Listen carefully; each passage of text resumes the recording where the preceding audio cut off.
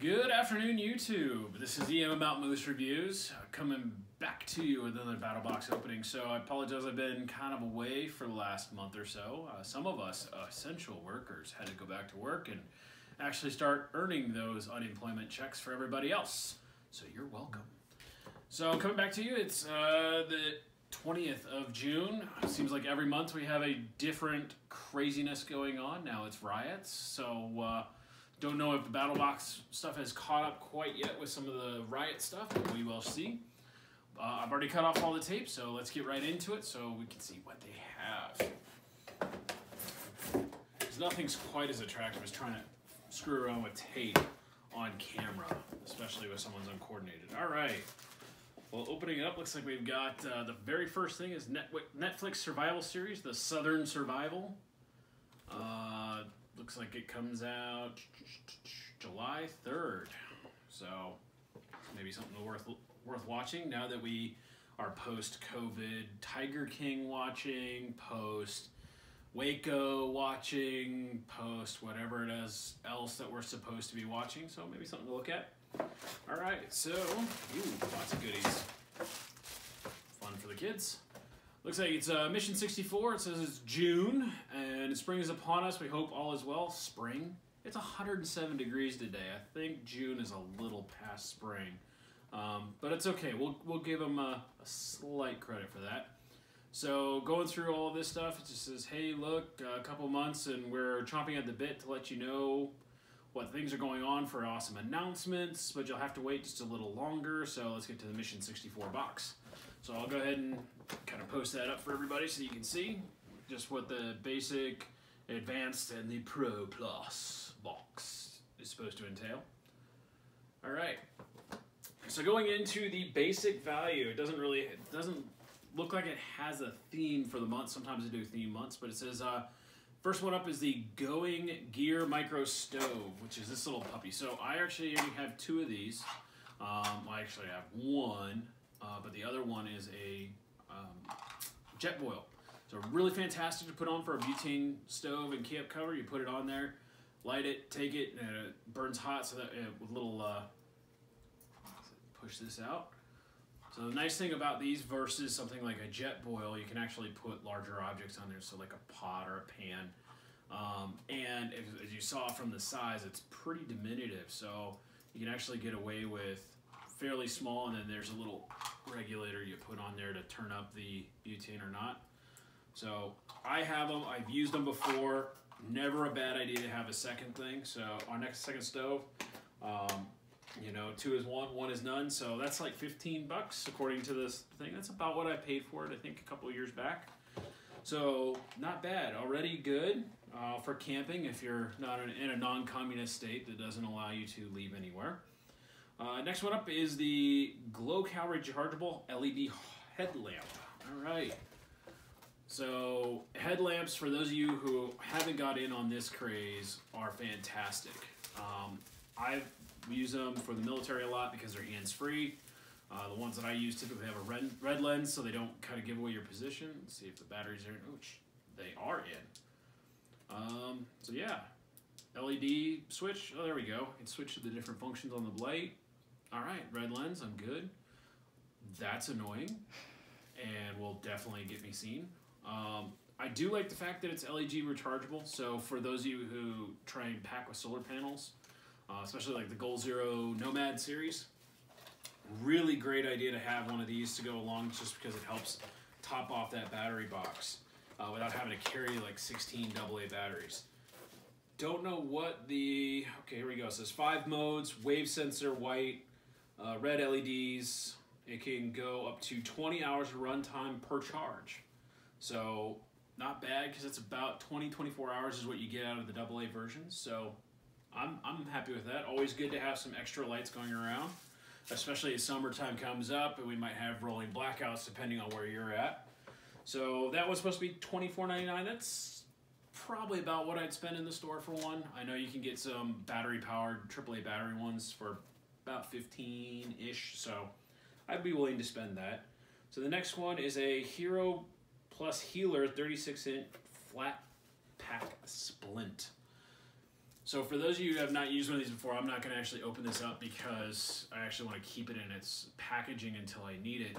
These are phenomenal. So one of my kids ended up uh, busting her elbow, and they used this and an ace bandage as the splint for it instead of doing a cast. So something you could take off. Fantastic. They're really lightweight. The, the best part is they're reusable, so you can reuse these things. Um, they hold their shape really well. So if you don't have some of these, especially for you going out hiking and camping, which kind of seems to be the theme right now, just from what I'm looking at, highly recommend. Uh, and for these are 10 bucks MSRP. Yeah, I'd, I'd buy that for for 10 bucks. So so far pretty good. Again, this is all the basic package so far. Looks like we've got, oh, this one looks like it got damaged in delivery. It is the Nosk Nasal Filter. All right. Apparently this is supposed to be easy to breathe and it's supposed to be for allergens. I think. Yep. Dust, pollen, allergy Let me see the nose solution. So I'm supposed to take this and shove it up my nose hole. I can't really All right. see it. Well, that's fantastic to to feel. Um, oh, good lord. Well, I think it. I, I don't know. I don't know quite what to think about that. Um, I don't typically suffer from allergies, but my camera lady, also known as my beautiful wife, uh, does. So maybe that'll help. I feel bad that it's kind of How you sterilize destroyed it. It doesn't say about sterilization. That is a good question. But apparently, you shove it up far enough into your nose, and it's supposed to just breathe as normal. It's reusable, easy to breathe. Oh, consult a physician. Don't use it if you've had nasal surgery uh, or any condition related to nose or nasal cavities or sinuses. Uh, keep out of reach of children. The hell is a kid gonna do with that? I mean, never mind. These things are big enough. It might go up to their brain. But then again, if we're doing these whole COVID tests, bugger it. It's just the same thing. So, I mean, it might be worth taking with you if you're backpacking. Somebody who likes to go hiking and, and instead of carrying a boatload of Benadryl. Um, again, apparently the this didn't make it, but that's all right. That was it was a five ninety nine value. So you're looking about for the what they said for the package is fifty eight ninety six, and then they also threw in the last part was a KN ninety five mask. Cool. All right. So it's a knitted mask. Looks like it's reusable because of that. Fits around the ears and nose because you know sign of the times. Um, You look like the Tin Man, but the front version. All right, my camera lady says I, I look beautiful. Um, apparently, it's a three dollar value that they give to us for free. Well, thank you very much. Um, it is breathable. Uh, I don't know if it's a good thing or a bad thing. Uh, with a filter, you probably want it to be a little less breathable, but thus far it feels pretty good. Yeah, that's going to be fun, especially as I said, it's 100 and some odd degrees out. I think I'll just uh, uh, risk the COVID. So that finishes up the battle boxes. Basic one again, $58.96, not too bad. Uh, the next one going up to the advanced portion of the box is the SOG Snippet Multi-Tool. So unlike other multi-tools where they've got a pair of pliers as it the primary tool in the middle, it looks like this one is scissors. It's also got a toothpick, a small knife, a bottle opener, or jewelry driver. Why you need a jewelry thing out in the field, I don't know. A flathead screwdriver, a fingernail file, which again, odd, and then tweezers, which, believe it or not, is a good deal. But if you've never had the opportunity to use SOG, and always use Gerber or um, Leatherman. I, I highly recommend them. They're really good quality stuff. It does not appear to come with some kind of carrying case at all. But Open it up. let's pull it out and find out. See, it's, it's all these new toys I get to play with. So for those of you who are still kind of on the fence with whether or not you want to purchase a box of some sort, be it this one or one of the competitors, so far I like them. They still are fun, and it's still nice to get a little thing of gear um, every month, and it's something to look forward to. So yeah, nothing to carry it with, but looks like pretty good set of scissors. There's no spring tension, so there's nothing to help keep it open. So you will actually have to pull it open and and shut it that way. But Well, now I see why they didn't include a carry case. Oh, but it does have a little clip knife, so that's not bad at all. Looks like it's got a little uh, measure on the side that you can actually go and pull it open, and it has a length, like a little uh, ruler on the side. So I guess if you're taking fishing, that's be a good thing. So anyway, they say that this is a $29.95 value. I'd, I'd buy that for a dollar, especially with the little pant clip. That's not too bad. Another little toy to keep when I'm out in the box. And then we go, keep going through. Okay, so the next one is the Pro value. So that's going to be, uh, it jumps the value up to $148. And that's with the SOG Camp Axe and the green sheath. So that's awesome. So I, I'm a big fan of having a good sharp, sharp tool while hunting or Please don't cut your face off. Yeah, just get a little facial restructuring. So SOG usually comes pretty well sharp out of the box. I wouldn't say it's the most sharp thing I've ever played with, but then again, with a camp axe, you don't need it to be razor sharp. It's more likely to get stuck in the wood. Um, thing I like about this one is that it's got the hammer end on the back end for uh, camp, uh, camping stakes. So, and then SOG usually makes some pretty good quality sheaths to put your axe in so you keep that blade nice and sharp. And also keeps it from unintended consequences like, I don't know, children. But, pull that up and over. Still hold, feels real nice. It's got a little bit of heft to it. Uh, I have a SOG Tomahawk I got as a gift, and this it has this uh, plastic. I'm gonna be in here bounce off my ring, but it's got a little plastic handle. Seems to be really good quality. Uh, it's not as heavy as a hickory handle. Uh, it should hold up to some abuse, but I'm hoping to do some camping once all the parks open up, and we'll give it a try.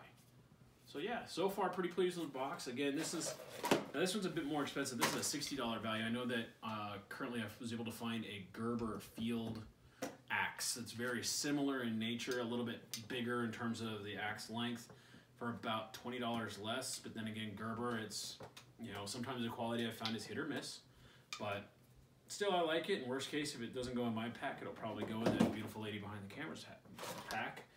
You know, again, going with the adage, two is one, none is one is none. All right, so we cleaned all that out. That was pretty quick. And then the final one is the Knife of the Month Club. So this is a Pro Plus Knife of the Month Club. It is a Buck and Bear titanium flip, flipper Damascus steel knife. And it's putting the value of it at $129. Well, this better be a really nice knife to, for $129 because I know I can get a really good Benchmade or really good knife uh, from a different company for that kind of price. Pull it out. All right, so nice little case, little foam case. I don't know if I'd keep it in there. It's kind of a super protective. If it's made of really good steel, why do you need a super padded knife case? So the blade is Damascus steel. Ooh, flips nicely. I'll go ahead and show that out to the camera so y'all can see some of the waves in the in the blade edge. So I've always found Damascus steel to be very interesting. Initial impressions on quality of it, uh, it feels really sharp, which is always a good thing.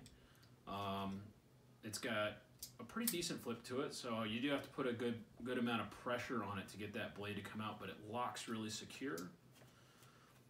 Doesn't feel chintzy at all, like it feels like it's actually a good piece of kit, but it's very, very light, uh, comparatively speaking. Um, so I do like that aspect of it. So let's try, see if it's got a decent edge or not. It's a little bit thicker than a sheet of paper, but didn't put much downward pressure on it. Not a whole lot. Maybe I'll have to give it a little bit of run through to the whetstones real fast, but I don't think it is dull by any means. Would I pay $129 for it? No. But that being said, if if it really is a $129 knife and you're getting it with a package where it's 150 bucks for all of this, pros and cons. You know, not bad, but very pleased. So just a quick re- recap of everything that came with. So we got the little camp stove, good good stuff to have anyway. I'd buy it anyway. LED light, buy it anyway. Allergy stuff, probably wouldn't buy it, but funky, cool. I'll try it out, see what happens. N95 mask. I think we've all had a very heavy supply of these already. Uh, the split, absolutely would buy already. Um, so pretty good, pretty excited about that. And then little snippler tools, probably wouldn't have got it, but you know, again, with the kind of theme, looks like a camping slash emergency for your survival kind of stuff. So having these to help cut through clothing, or having just a decent pair of scissors, knife out in the field, not bad. Um, so yeah, I I think this is I'm actually kind of interested on some of this. There you go. Especially a little pair of tweezers. So if those of you have ever used a Swiss Army knife and had these fall out and never found the damn tweezers again, um, which I know never happens, but that's actually pretty nice to have is something where it's actually retained. So, and it's interesting because it splits the center. So this little uh, scissor piece actually splits the center between the two, um, the screwdriver and the the uh, tweezers. Then on the other side, when you pull it up, it's got a knife, a wicked looking toothpick, and that can opener slash jewelry tool. So again, for what this was valued at, I think this was like what thirty bucks. Yeah, not bad. Camp Axe, already told you I'd buy one, so good to go. Bottom line, very pleased with the box. I think it would be fun for camping. I just think it's going to be one of those things where I actually have to get out and test it. If you like what I had to say here, please uh, subscribe to the channel. Uh, know that I will answer your comments as quick as I can. If you have any videos that you would like me to do with regards to either boxes, survival, prepping, anything like that, I'd like to get back into it now that we're kind of coming back from some of the craziness in the world. By all means, drop an idea in the comment line, and if I can do it, I will absolutely do it. Thanks again, stay safe, and we'll see you next month.